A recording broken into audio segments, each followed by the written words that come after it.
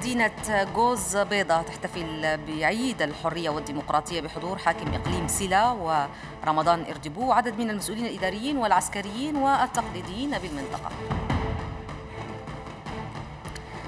مدينة ساحل الع... مدينة شهد عاصمة ساحل العاج أبيجان تشهد انعقاد قمة البرلمان الأفريقي الأوروبي ومطالبة المشاركون من أجل مكافحة هجرة الشباب الأفريقي نحو الغرب. المجلس الأعلى للشؤون الإسلامية ينظم احتفال الشعب الكبير الجامع بمناسبة ذكرى المولد النبوي الشريف الدورة العاشرة بحضور جمع من العلماء ورؤساء المجالس الفرعية.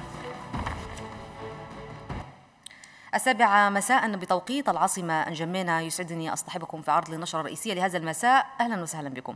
نبدأ النشرة من مدينة جوز بيضة حاضرة إقليم سيلا حيث احتفل سكان مدينة سيلا مدينة جوز بيضة بعيد الحرية والديمقراطية بحضور حاكم الإقليم رمضان إردبو وعدد من المسؤولين الإداريين والعسكريين والتقليديين بالمنطقة. محمود موسى الفيل وتفاصيل هذه الاحتفال.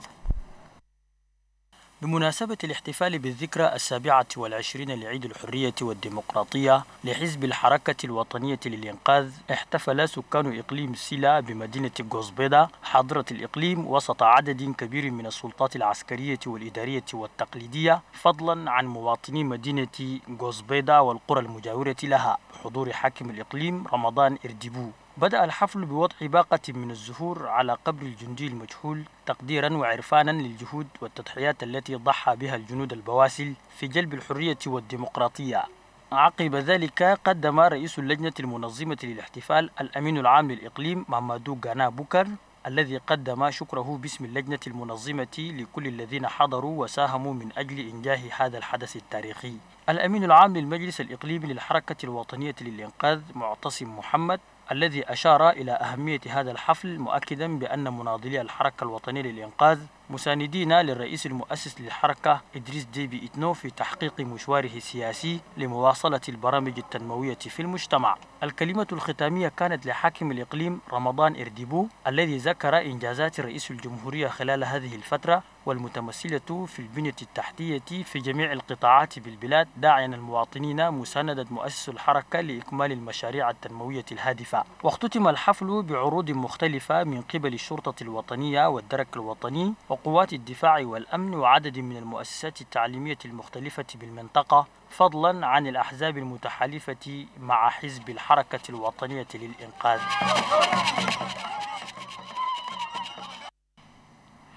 ومن جوز بيضة إلى شريبة قرمي واحتفال بعيد الحرية والديمقراطية بحضور حاكم الإقليم عبد الله هارون. خرج سكان مدينة ماسينيا رجالا ونساء شبابا وشبه للمشاركة في احتفالات الذكرى السابع والعشرين لعيد الحرية والديمقراطية والتي جاء بها حزب الحركة الوطنية للإنقاذ في عام 1990 بقيادة مؤسس الحركة الوطنية للإنقاذ الذي انتصر على النظام الدكتاتوري الذي كان بقيادة حسين حبري الذي كان يحكم البلاد بيد من حديد. بدأت المناسبة بكلمة اللجنة التنظيمية قدمها سمين إساق بريمي والذي شكر فيها سكان مدينة ماسانية على خروجهم الكثيف وتلبيتهم الدعوة كما أثنى على أعضاء اللجنة التنظيمية على نجاح الحفل التاريخي. عاقبه في الحديث حاكم إقليم شاري باجرمي الذي هنأ فخامة رئيس الجمهورية إدريس ديبي إتنو مؤسس الحركة الوطنية للإنقاذ والشعب التشادي عامة وسكان مدينة ماسينيا خاصة بهذه الذكرى التي شهدت فيها البلاد أنفاس الحرية والديمقراطية وتعددية الأحزاب السياسية المختلفة فضلا عن حرية الرأي. كما تداخل المتحدث الرسمي باسم الحركة الوطنية للإنقاذ بإقليم شاريبا جرمي أبكر بشار عمر بالشكر الجزيل على سكان مدينة ماسينيا بحفاوة الاستقبال وكرم الضيافة.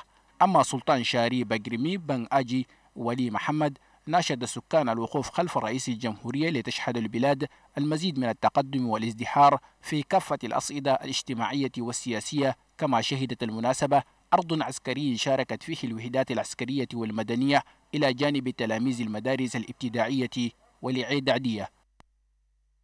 ساحة الاستقلال بمدينة بإقليم عفوا بإقليم حجر لميس أيضا شهدت الاحتفال بعيد الحرية والديمقراطية. التفاصيل لدى حسن مكاوي.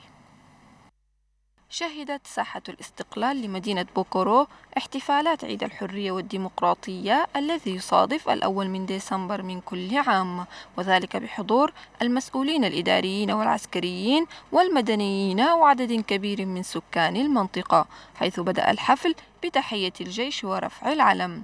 الأمين التنفيذي للحركة الوطنية للإنقاذ بمحافظة الدبابة عبد الله أبو بكر إخيبش في كلمته قدم برقية مساندة باسم سكان المنطقة لفخامة رئيس الجمهورية إدريس ديبي إتنو واستنكروا بشدة الادعاء الكاذب من قبل نائبة وزير العدل الأمريكي. من جانبه رئيس اللجنة المنظمة للحفل عمدة البلدية أحمد حسن أحمد ديناع شكر الحضور المشرف لهذه المناسبة.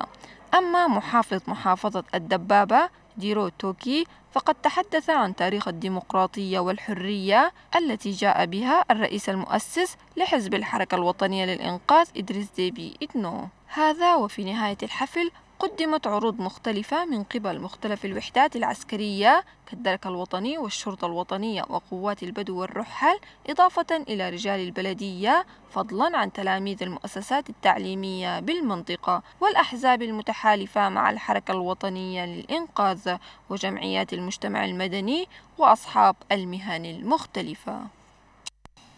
كان هذا تقرير الزميلة فاطمة داوود الحمر واحتفال إقليم حجر لميس بعيد الحرية والديمقراطية. احتفل سكان مدينة دوبا حاضرة إقليم لوغون الشرقي بعيد الحرية والديمقراطية. آدم حسن مكاوي. منذ الصباح الباكر احتشد سكان مدينة دوبا حاضرة إقليم لوغون الشرقي بميدان الأمة للاحتفال بالذكرى السابعة والعشرين ليوم الحرية والديمقراطية. ابتدأ الحفل رسميا بوصول حاكم إقليم لوغون الشرقي آدم نوكي شرف الدين إلى الميدان لترأس هذه المناسبة ومروره بطابور الشرف والقوات العسكرية. ليقوم بعد ذلك بوضع إكليل من الزهور على قبر الجندي المجهول إكراما وتقديرا لتلك التضحيات التي قام بها الجنود من أجل الوطن. حاكم إقليم لوغون الشرقي آدم نوكي شرف الدين في خطابه بهذه المناسبة تطرق إلى الإنجازات التي شهدتها البلاد طوال السبع والعشرين عام للحزب الحاكم حزب الحركة الوطنية للإنقاذ. في التعليم والبنية التحتية والصحة وغيرها من المجالات مضيفا إلى أن حزب الحركة الوطنية للإنقاذ منذ وصوله بالديمقراطية وحتى اليوم يسعى لتثبيت قواعد الديمقراطية والتنمية والسلام في شتى الأراضي الوطنية. واختتم الحفل بعرض عسكري شاركت فيه كل الوحدات العسكرية الأمين العام لإقليم كانم أيضا ترأس الاحتفال بعيد الحرية والديمقراطية وسط حضور عدد كبير من سكان المدينة. آدم حنفي. ديمقراطية وحرية دامت بها البلاد 27 عاما من الزمن. هذا ما دفع مسؤولي كانم لتنظيم هذه المناسبة التي تصادف الأول من ديسمبر لكل عام من مجيء الحركة الوطنية للإنقاذ بقيادة رئيس الجمهورية إدريس ديبي إتنو كي ينقذ البلاد من النظام الدكتاتوري السابق. وذلك من أجل تعزيز النضال الشعبي من خلف مؤسس الحركة الوطنية للإنقاذ. حيث شهدت المناسبة كلمات عديدة من قبل منظمي هذه المناسبة. الأمين العام بإقليم كانم أبو بكر الحاج عبد الكريم قدم شكره لجميع السكان وخاصة مناضلي الحركة الوطنية للإنقاذ. طالبا منهم الوقوف دوما من خلف رئيس الجمهورية إدريس دبي إتنو. الذي بذل جهدا عاليا كي تعيش البلاد ديمقراطيتها من أجل اكتمال مشواره التنموي الرامي إلى تحقيق التنمية المستدامة بالبلاد. وفي نهاية المناسبة قام كل من الأمين العام وصحبته بوضع الزهور للجند المفقود بإقليم كانهم وبالعودة إلى العاصمة نجمينا احتفل مناضلي ومناضلات الحركة الوطنية للإنقاذ بالدائرة الثامنة بعيد الحرية والديمقراطية. التفاصيل لدى خليل حسن. مناضلو ومناضلات الحركة الوطنية للإنقاذ بالدائرة الثامنة لم يكتفوا فقط بمتابعة احتفالات ذكرى السابع والعشرين لعيد الحرية والديمقراطية. بل شاركوا مع إخوانهم المناضلين بأمسية احتفالية جمعت عددا من مناضلي الدائرة. وقد شهدت هذه الاحتفالية العديد من الكلمات التضامنية مع الرئيس المؤسس للحزب مؤكدين خلالها مساندته في كل خطوة يخطوها لتنمية وتطور المنطقة. كل مناسبات أنتم واقفين. في كل تحركاتنا ال MPS أنتم واقفين. وده شيء خلى أيام دائرة الثامنة بقت مقر رسمي عن الحركة الوطنية للإنقاذ في تشاد وفي أثمنة عندنا هذا وقد قدمت كلمة تشجيعية لصاحب الفخامة لمواصلة كفاحه ضد الجماعات المتطرفة بوكو حرام مستنكرين خلالها التهم الموجهة إليه من قبل نائب وزير العدل الأمريكي وقد توج هذا الاحتفال بأغاني ورقصات متنوعة.